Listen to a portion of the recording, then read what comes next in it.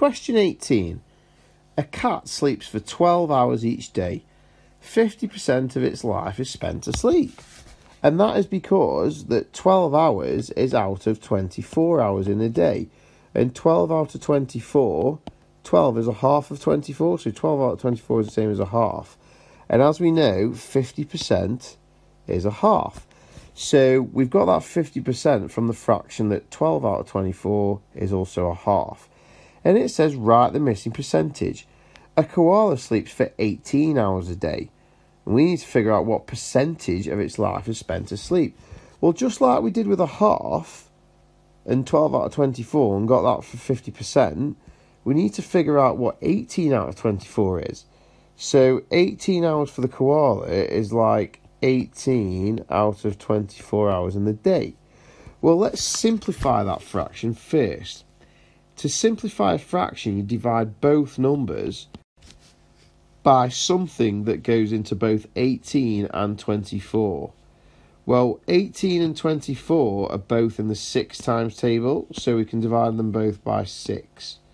So 6 into 18 goes 3 times, and 6 into 24 goes 4 times.